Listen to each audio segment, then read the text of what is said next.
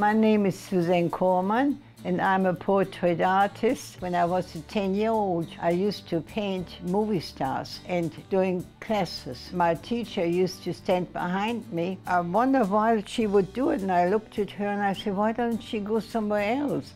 Watching me all the time. And she said, go on, Suzanne, looks just like her, looks just like Greta Garbo, looks just so and so. I've lived in this facility for, I think, around two years almost, and I love it here. It's special. You can't have a better life than to live here in Carolina Highlands. I have a lot of time for my artwork or whatever I want to do. It's away from a lot of traffic. I look out of the window and I see everything is green, green grass and beautiful trees. And we all have a balcony here and that I like the most, if get some fresh air and I even paint on the balcony. People are wonderful. We're just all friends. We all stick together. I mean, it's just fabulous. And I'm from Germany.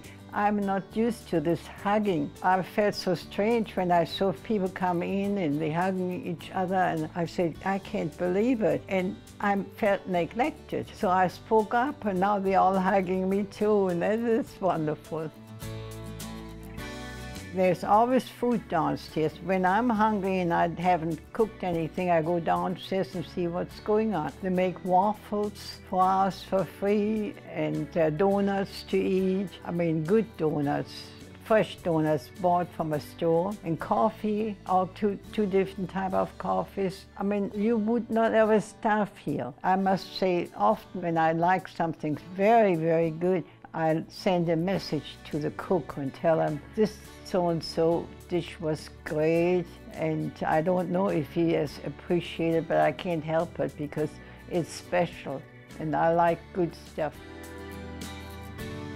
I had some serious operations and I needed to have a place where I could go be close to a facility that will help me in time of uh, emergencies. And this is a safe place because anytime you're sick, there's a doctor close by. I would be very sad if I would have to leave it because this is a wonderful place.